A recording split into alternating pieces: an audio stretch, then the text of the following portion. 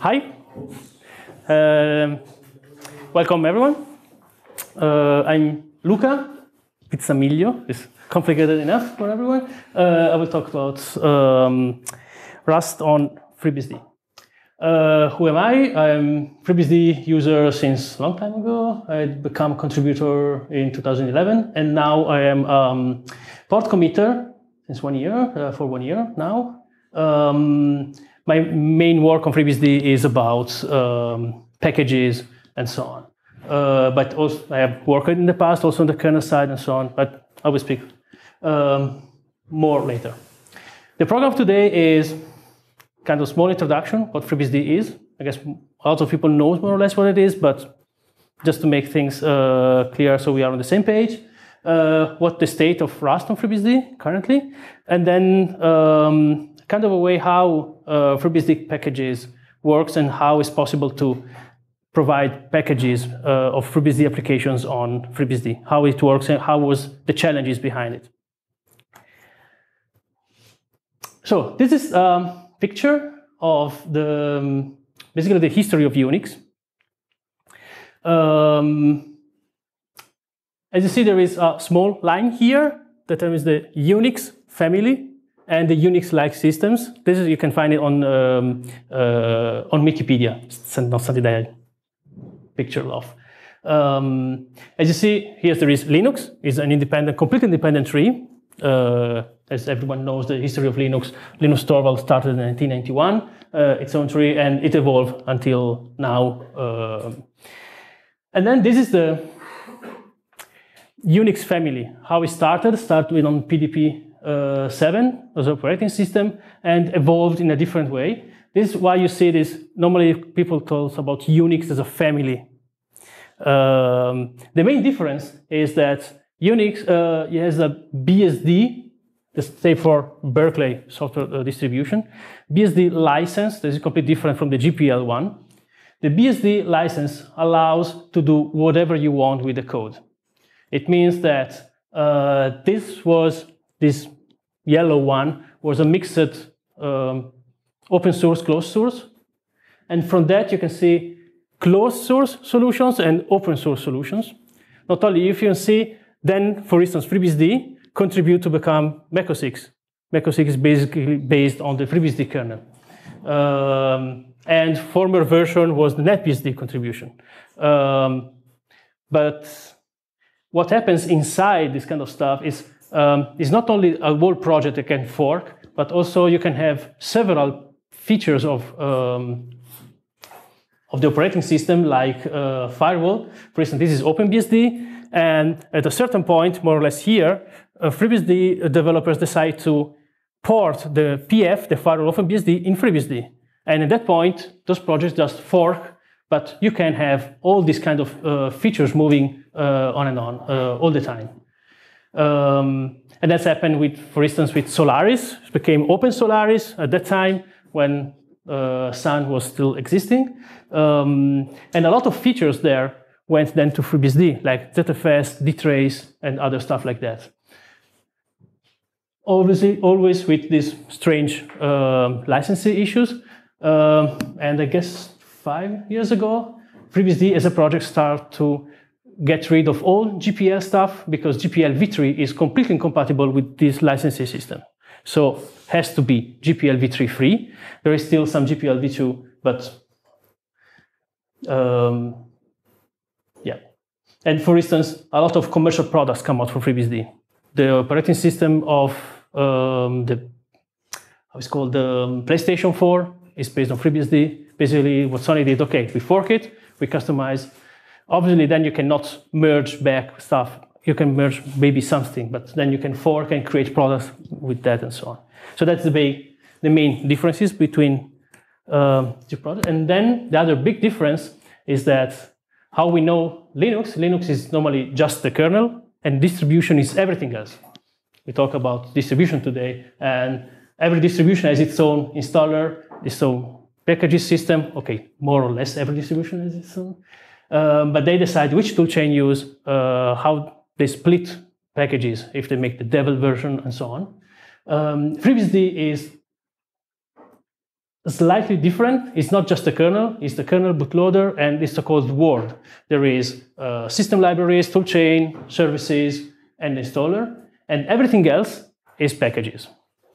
Um, packages are not part of FreeBSD, obviously, but they are they have to build them, and you have web servers, other languages, toolchains, and so on. So you can have multiple compilers uh, installed at the same time, multiple versions of Python, whatever. Question so far? Everything clear.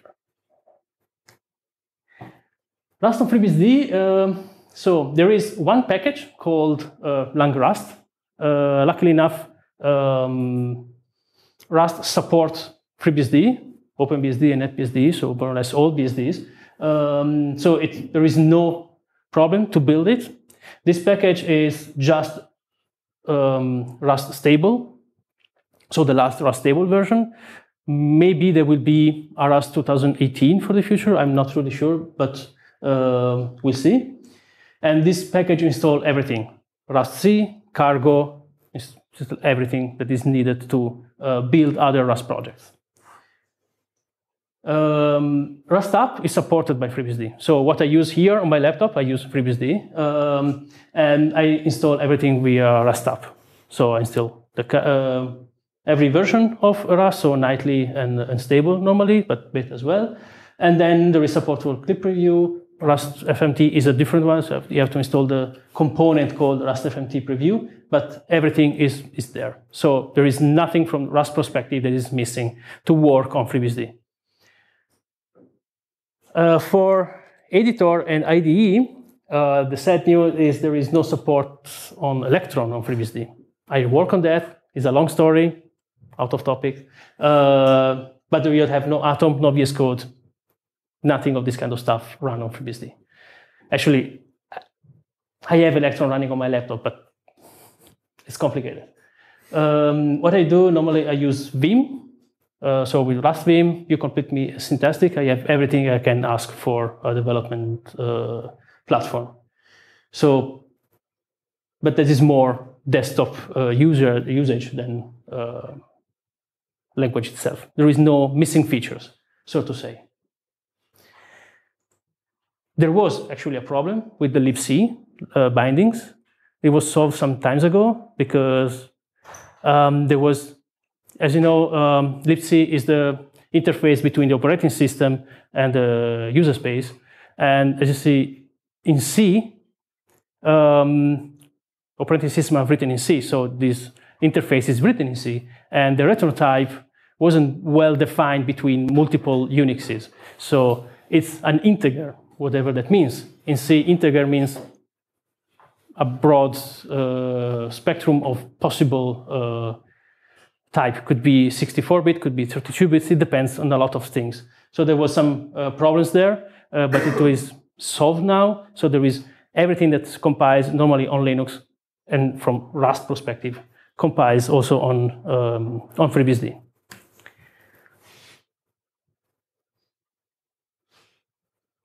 Uh, what is a package and uh, how package works on FreeBSD?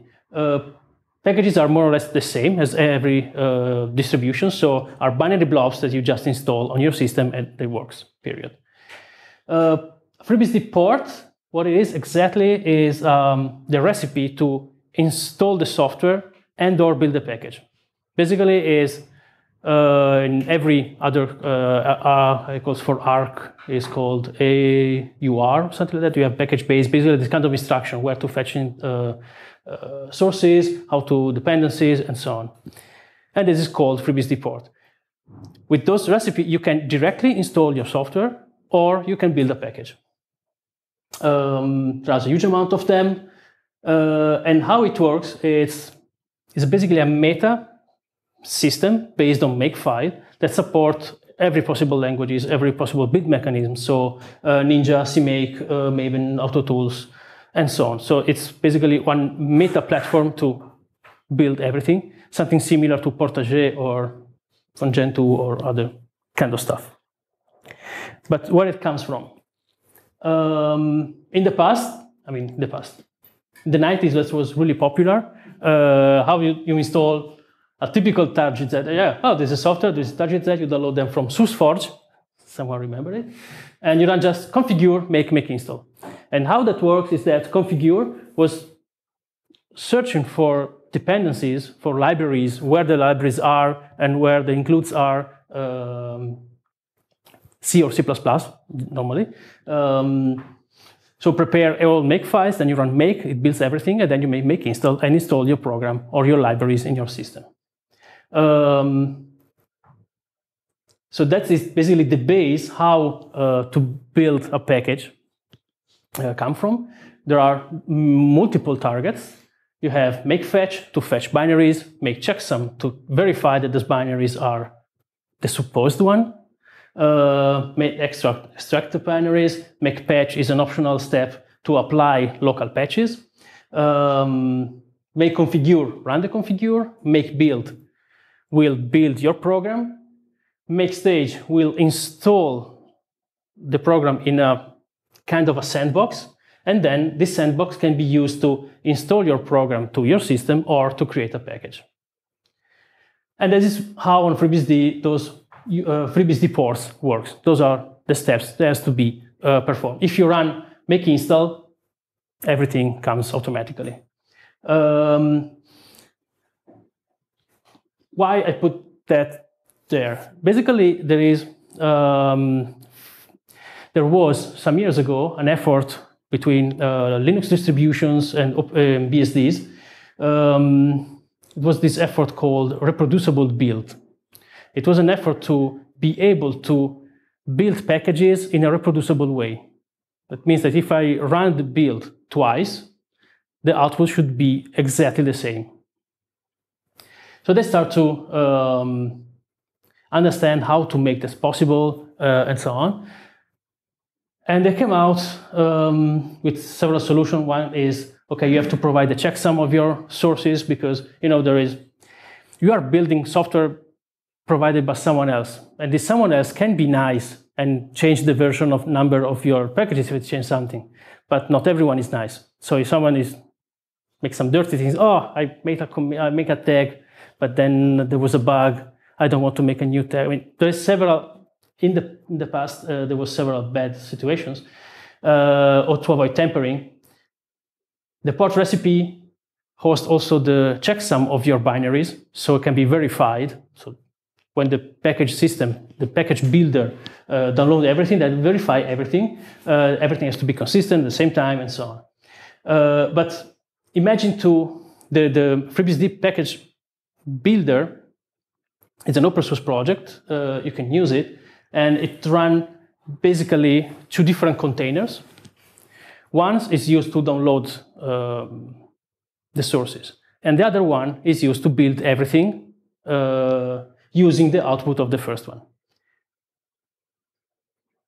This is an issue with, uh, with Rust because cargo, there is no cargo fetch. When you run cargo build, it downloads everything that you need and it builds everything. Uh, and that is not allowed in this model at all. So that was the first uh, big issue. Uh, so to ideally, what we want to do is make fetch will fetch crates, crates, all dependencies. Uh, make checksum will verify those crates. Um, make extract will extract them and actually, this is not really true, it's here. And we'll tell Scargo to download, um, to use the download crates instead of use the GitHub provide them the, for the internet ones, so to say. Uh, and then finally here, we can say, okay, make build, we can use cargo build. And with make stage, it can be used cargo install to install everything that is your application to this sandbox environment. And then uh, make install or my package can then use this output, but this is extra stuff. To do that, um, yeah, in the recipe, you need to provide also the list of dependencies that you that your Rust application has. Uh, this is tedious, but there is some uh, utility to do that. And not only the license problem that before was mentioned, there is a specific target make. You can say, please tell me all the licenses of all crates there is dependency. So you can have the list of all licenses, and you can see probably that there are some conflicting licenses in what you're doing or something like that. Uh, but we'll, we'll get uh, a little bit more with that. Basically, when you have um, a Rust program, that, a Rust project, a Rust uh, application that you want to create as a package, you use uh, this uses cargo that will do more or less everything that we saw here automatically for you. So it's already in the framework, so you need to do basically almost nothing. The thing you have to do is to use this additional target called uh, cargo crates. It will give you automatically the list of all crates that uh, with version that your application needs. And then with make make sum, it will automatically compute all the uh, checksum for you. So you have just to adjust in those files. Um, and that's it. I would probably just show you some real uh, example, just to give you uh, more grasp of what more or less that means. Uh, we see a small uh, package, then how the magic is performed, and then um, something that I heard before, uh, how it's difficult to, to manage Rust applications on, on a distribution. Um, because, yeah, we'll see that later. Okay.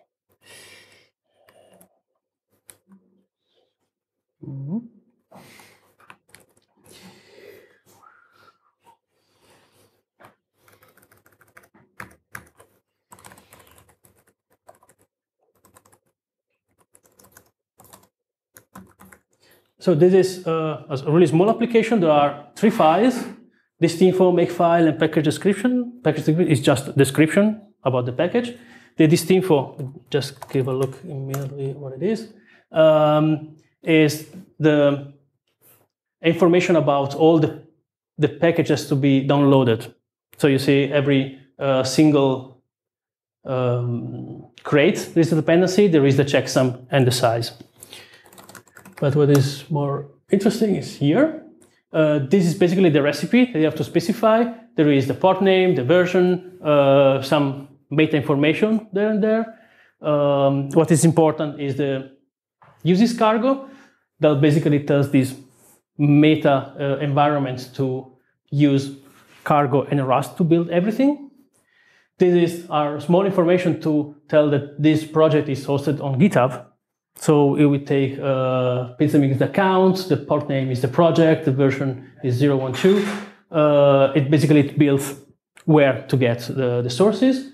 Um, this is only one file, so this is the list of files that you have installed. And this cargo crate uh, is the full list of all uh, crates that my small application uh, needs. That has to be specified there. And the uh, only one thing that is missing in cargo is that in normally uh, you want to install stripped, uh, stripped executables. There is a kind of uh, small passage that you, uh, step that you can do on binaries to reduce the final size. It makes less, a, a bit less um, debuggable, but to deliver release versions, you want to, I mean, I guess it cut 30 or 40% of the size uh, of a statically compiled binary. So it's quite important if you want to deliver uh, binary stuff. And just to make it to see in action, if you run here mark uh, cargo crates, it basically it downloads. Yep. Uh, I tested it.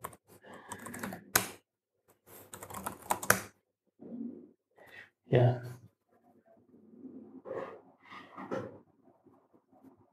whatever.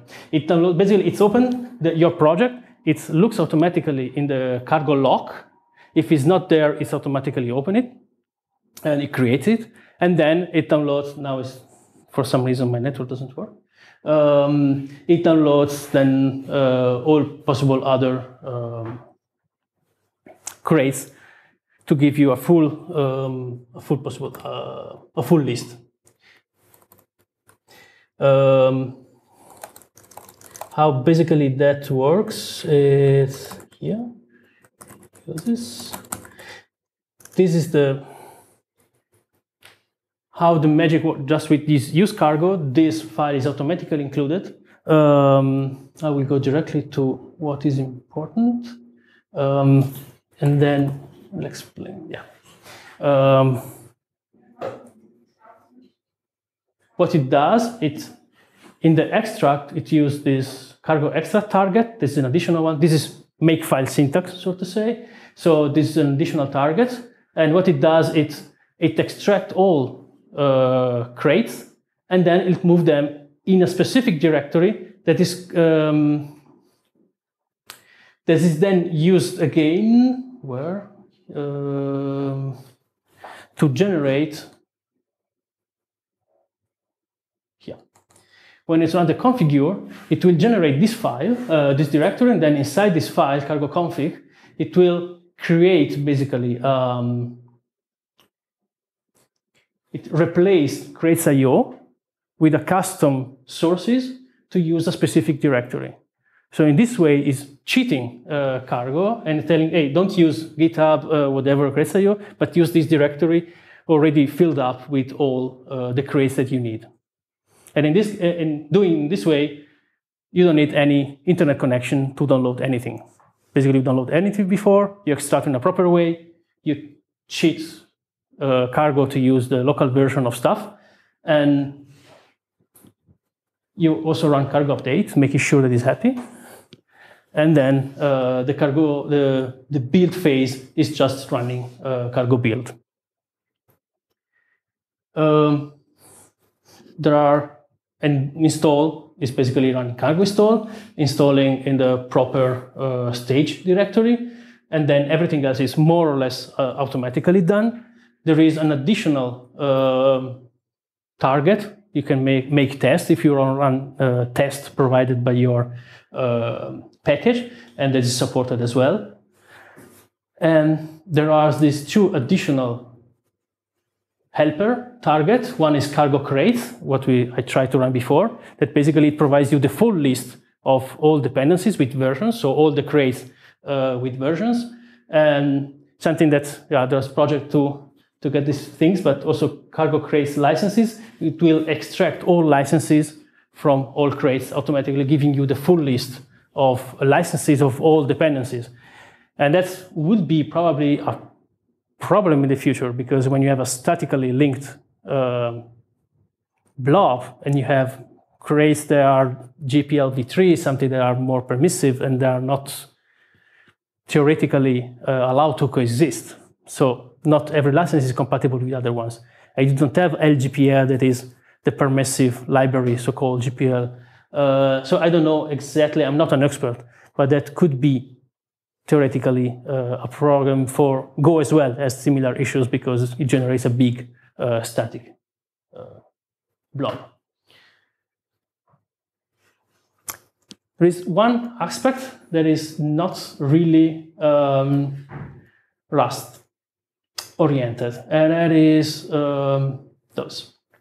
I have to explain more or less what, it, what that means. If in your cargo crate there is, for instance, the gettext-sys, whatever version, it will uh, okay include basically it will add the needed uh, library uh, dependencies. The get sys, uh, I guess everyone knows those sys normally are the uh, wrapper to uh, C code. So it's automatically for the already known um, crates that has binary uh, dependencies, they're automatically managed by this file. So automatically add eventual dependencies. And if it's possible, it will also help you to um, instruct the cargo environment to how to compile this specific um, crate dependency in the proper way. And in the proper way means in, um, in FreeBSD as is never linked statically, but always linked dynamically. Uh, even if I mean, the most common uh, use case is OpenSSL. Why do you want OpenSSL linked dynamically? Uh, obviously, you don't want to rebuild everything all the time. Basically, you want to just install a new version of OpenSSL has a vulnerability per day. So you don't want to, you don't, you don't have material time to rebuild everything every day and reinstall everything every day. Uh, so those are, I mean, the standard way in FreeBSD, but I guess in all package systems is to use shared library as much as possible. And that brings me to the last example that create me a lot of issues. I try to uh, port SC. Actually, it was really funny because SC is part of uh, RustUp. So I already had it. But everything that is in RustUp is hard to be used inside this uh, framework. So I want a package that will be installed. And I want something that is compatible to this. Um, ah, I guess this is a new version. Maybe. What happened? Um,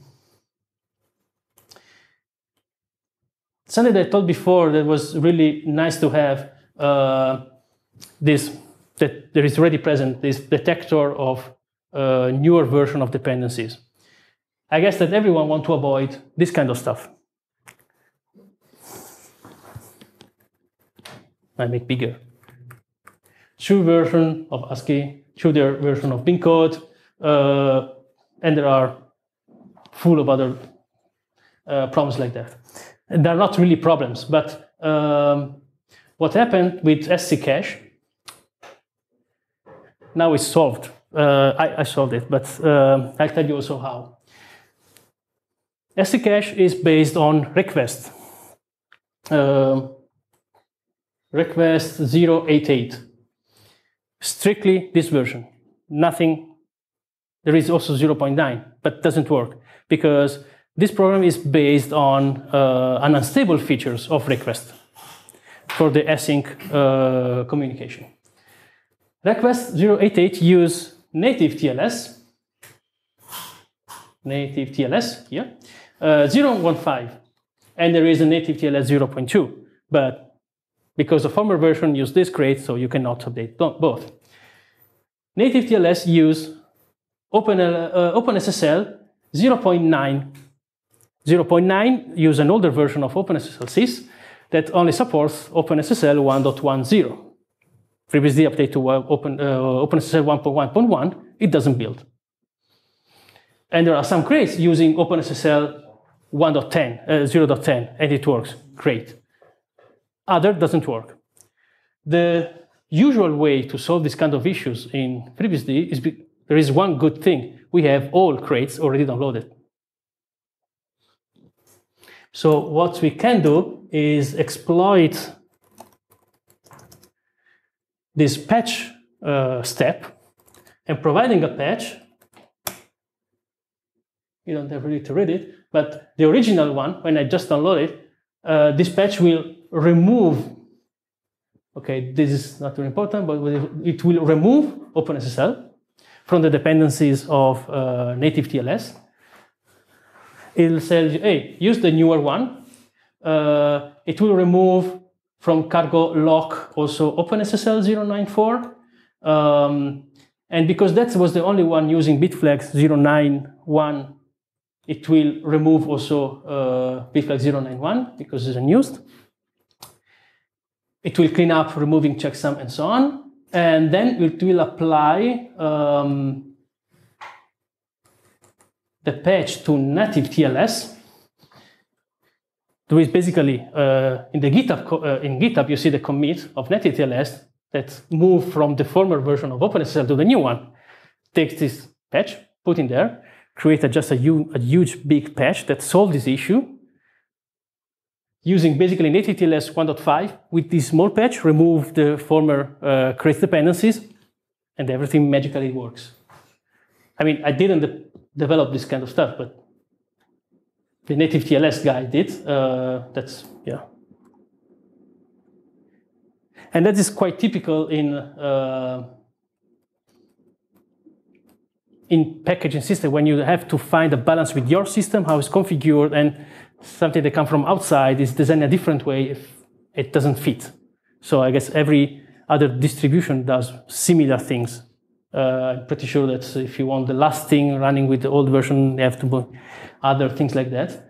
What is funny is normally in FreeBSD you have old things that doesn't compile with the new one, so you have to in, include newer patches to make things work. And this is more or less how uh, we survive all the times. But yeah, there is only one other thing that I want to show you. Um, it's always here. Funny enough, um, in the list of create started dependencies, there is, I, mean, I compile on FreeBSD and I have to download all of them. All of them. You have to download them. Cargo wants them there. Then it decides, obviously, if they are needed or not. Okay, this is not Windows, could be Linux, Mac OS X, whatever. Those are downloaded. Because when you verify at the beginning, everything has to be there. There is also, I don't know, uh, every operating system has to be there. Then Cargo decides to ignore when it builds. But at the beginning, in the cargo lock, they are present because in the cargo lock, for whatever reasons, there are other uh, crates that won't use them and so on. So you always have to. I try to remove them. I it up. I mean, uh, it's fun enough to have to download Windows code all the times, but that's uh, something that happens all the time. Uh, yeah. Uh, I guess. Uh,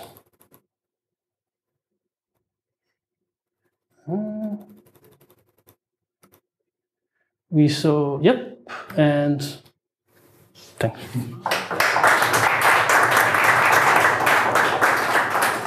I promised Matthias to reach 15 slides, but uh, just 12. So if there's any questions, uh, yep.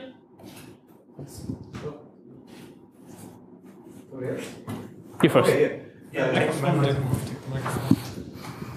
So I maintain a dash sys crate for mm -hmm. binding to a C library, and I was wondering, is there anything I could do to make your life easier so it will work on FreeBSD without nasty patches being needed? Because this is quite a niche library, and I don't see a lot of people working magic to make it uh, compile? Uh, the only thing that is really important is to use the last version of Crate, period. Because for how uh, the, I mean, these dependencies created that you don't see. That's why these features that uh, Rust provides is really useful. You don't want this duplicated stuff. If you have bitflags 09 and bitflags 010, the 09 is abandoned.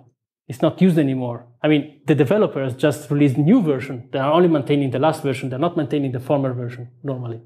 So if there is a bug there or whatever, they are still using some deprecated stuff. In this case, OpenSSL because it's a shared library. If you want shared libraries, you have to know that, okay, the last version is supporting the last version of the other things. So it's the only thing is really to keep all uh, dependencies really up to date and everything else come for free. Do you use the links attribute in cargo.toml? Uh, it's supposed to be for dash sys crates, so they can specify, hey, I need this dynamic system library to be linked. So normally, um, I can turn back. I can show you um, what how it is done normally.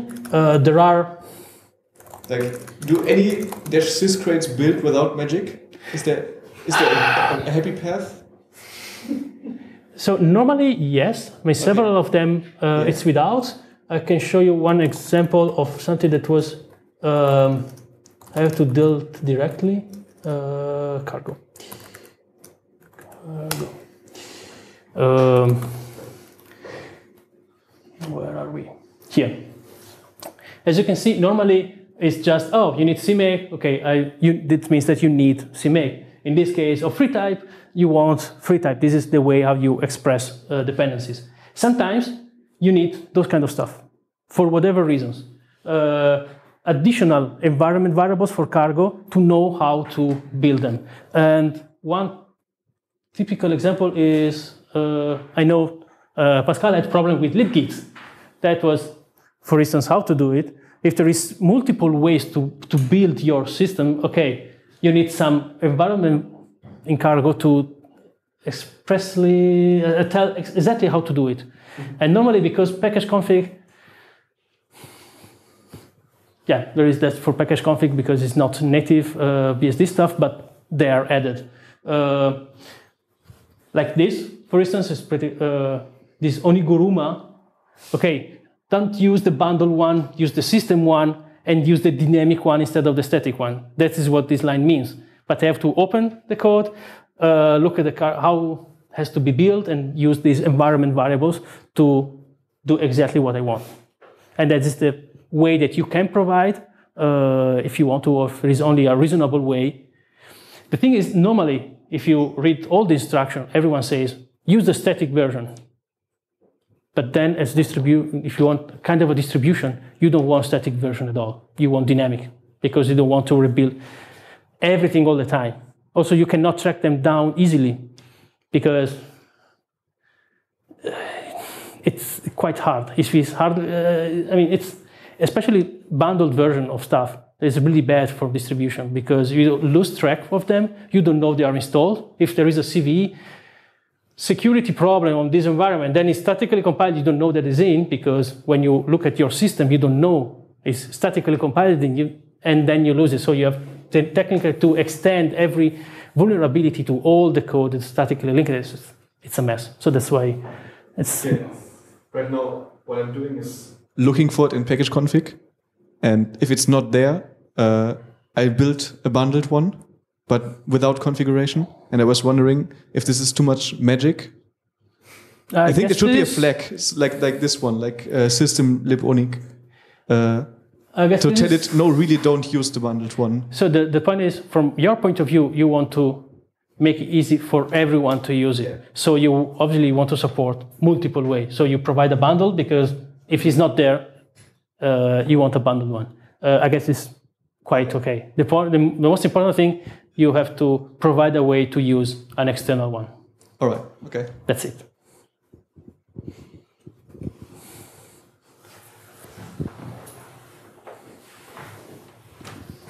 Uh, couldn't you just replace all those um, unused Win API, Win API crates with empty stub crates or something like that? Nope. I mean, uh, I don't know exactly how much cargo needs them and at which level. It depends uh, in several ways. Maybe yes, but it makes more work to try to find this workaround and download them and install them and ignore them. I mean, as long as they are there, then cargo is gentle enough to ignore them. It's just funny that you have to download Windows code for yeah, every operating system. If you wouldn't want to download them, then you maybe could. Yeah, the point is, uh, if they're not there, I try to download them for whatever reason. I'm not really sure why. It doesn't. Basically, because you are cut off from internet, has okay. This is the only source has to be there. So there is no cargo IO, uh, whatever. So probably that's the, the, the main issues there. Because I don't recall that is they are downloaded. No, I don't. I don't. Not really sure. But I think it is, I tried once and I said, okay, you know, too much work for minim, yeah, meaningful uh, improvement. That's Thanks. It.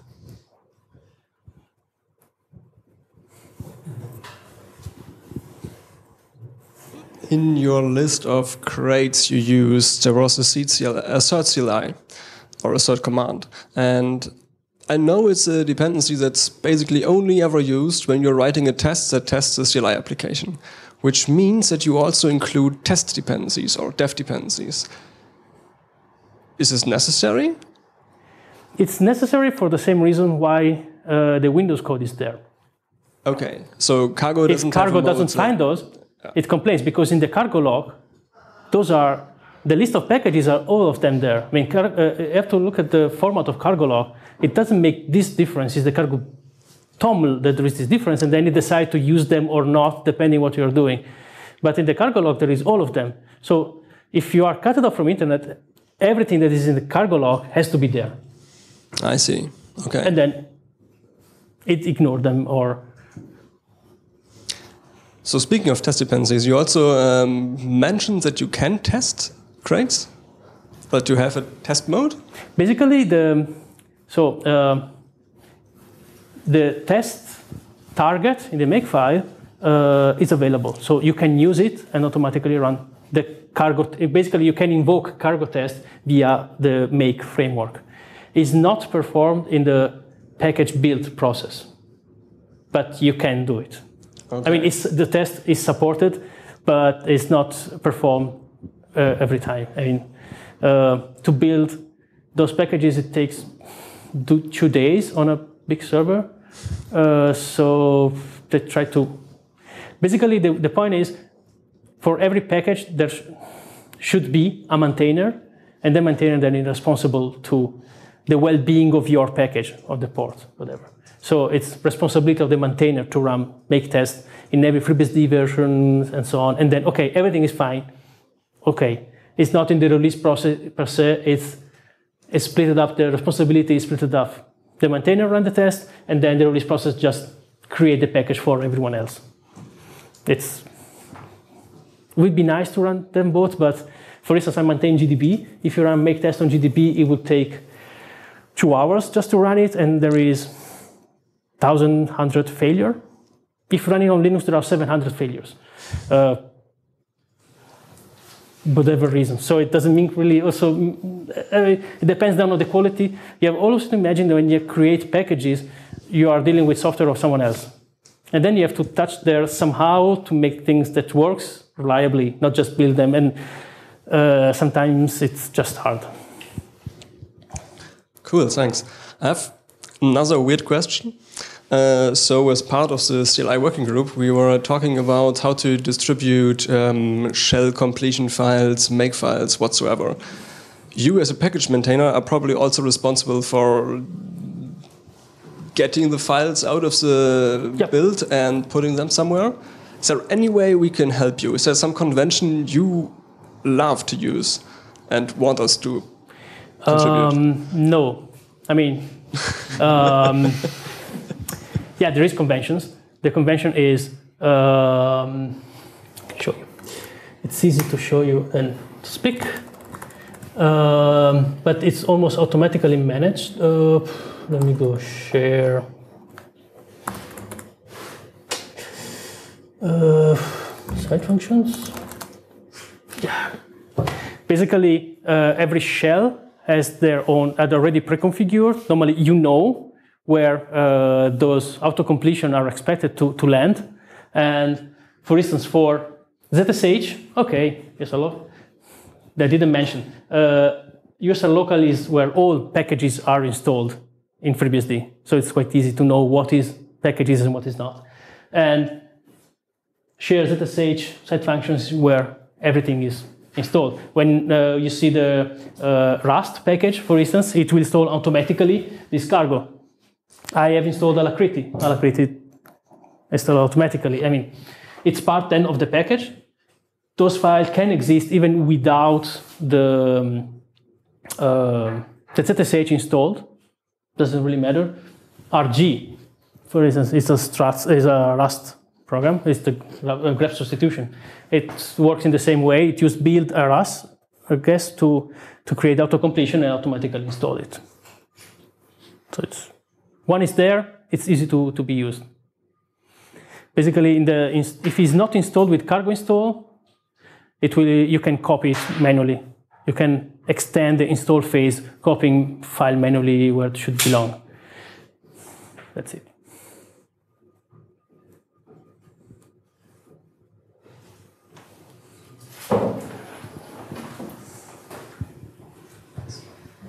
Um, just one small question, maybe Yep. to the round as well, because I don't know if you know about it. But is there are there any um, ideas to do reproduce, uh, reproducible builds with Rust at all? Are there any efforts? So as far as I know, reproducible builds are an effort from distributions to be able to run twice the same code base and say, okay, we got the same, uh, exactly the same binary. But exactly with shell, uh, you can make a hash, it comes out the same hash. The problem is mainly the more is most uh, the biggest issue are, for instance, there are some programs that uh, in the version they put also the timestamp on when they are built or this kind of stuff. Those kind of stuff should be avoided at all. A version should be enough. Don't put timestamp in your code or whatever. Just don't do it. Yeah, but that's like cargo build. When I call cargo build, and for example, somebody else uh, calls cargo build, does it pr- produce the same binary? Cargo build is already doing, I guess, most of those kind of stuff. I guess. To answer your question, it does if you don't have a build RS. Because exactly what you're saying is not possible in Rust. You cannot include a timestamp unless you execute code, which you can only do if you do build RS. And build RS is a hated feature like the npm script part of things, but we can't also not get rid of it like the npm script part of things. So if, if all of your dependencies do not, then you probably get the same, considering the same cargo version, get the same build. I would have another question. Yep. Uh, go back to the to the make file, please. Um, I was wondering. You said you were stripping the library after the the binary afterwards. Yep. Isn't build dash dot release enough? No, it's not doing it. Are you using build dash dot release? Because in the command you said you showed you didn't, and I was wondering if there's a good It's reason. using the cargo build, then the cargo install, but there is no strip. Uh, No, I mean if you if you usually run cargo build, it runs it builds the debug binary, right? yeah, no, it used the, the release one. Okay, cool. Um, now, I mean, I'm pretty sure. Um, yeah, make users and cargo. Um, yeah, I didn't show where is the cargo build. Um, in the cargo build arcs, um, it's built. ah, okay, they're, There they're is defined uh, on top. here are several. You see, there is okay. it's built basically these cargo arguments, collecting this environment stuff, um, is collecting this, for instance, pretty nice. Yeah. If you specify uh, typically for C or C++, um, the architecture or the CPU optimization is converting in, in the proper Rust flags uh, and so on. So it's building automatically all this kind of stuff uh, in between. Um, and somewhere there is release. All right, cool. If you specify, I mean, there is a, a general knob. It's called with debug. In this case, we'll, we'll create all packages in debug version. Uh, otherwise, it will be in release. And then if you're, for instance, this is the way you can activate or deactivate features. For instance, for sccache, I have I'm using cargo features all, but if you want to activate some of them, I mean, they try to mimic all the possible um, features that cargo uh, expose in this way. Uh, but yeah, Cool, thanks. I guess the main problem with strip is part of the um, binutils. So it's a step that is even out from uh, VM. It's basically from binutils you have strip Yeah. uh, that's cut off a lot of sections, so symbols and so on.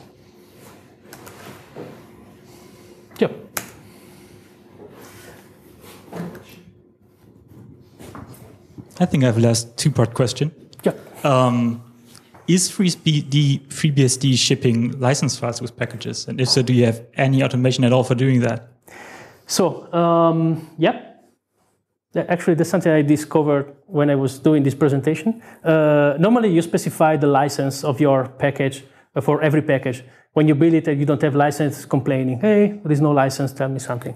Uh, something I discovered during this uh, presentation was that it's possible to extract the licenses of all crates that you are depending on. Uh, I mean, I think I have some let me see if uh, can do it. Uh, ports. If I can run it here, Um,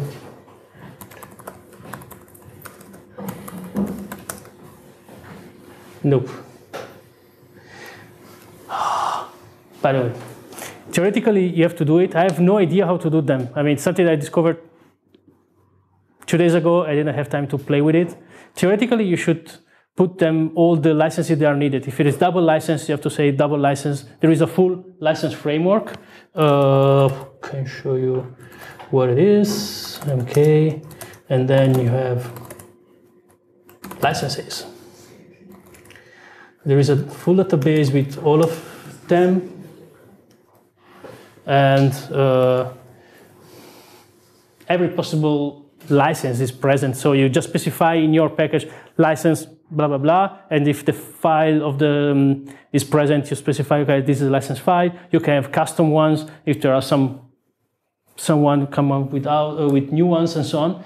They are basically used um, to avoid not distributable files or distributable packages. There is some package they are not packageable. Some ports about uh, Java stuff that you have to download manually because there is no license, but then it's built automatically. But for license restrictions, uh, they are performing this way. I mean, yeah, but I don't know. If this kind of with crates, I don't know exactly how it works. But normally with my project, I just put, I have a, a couple of things. Okay, this is BSD, license BSD, this is GPL, license GPL, MPL, APL, I mean, all of them there. Yeah, I think like um, what I'm interested in particular is that BSD technically requires that you always ship like the license text because there's always that one different bit that says what the copying information is, right? And um, you, or at least MIT has it. I'm not sure about BSD actually, but like you have a requirement to reproduce that exact copying notice, which is probably also the reason that you had files like bsd.octave and something in the license folder. So you would then just add one line like license file equals something, and that would You have to split the concept of FreeBSD and FreeBSD packages. yeah FreeBSD is BSD license or compatible. sure. But no, I'm, are- I'm talking about packages being BSD licensed. Package BSD license is done. I mean, the point is, every package then is marked with their own license. So then it's automatically, yeah, you have mm, package files. I don't know, botnet again. No, it's not there. Uh, that. Yeah.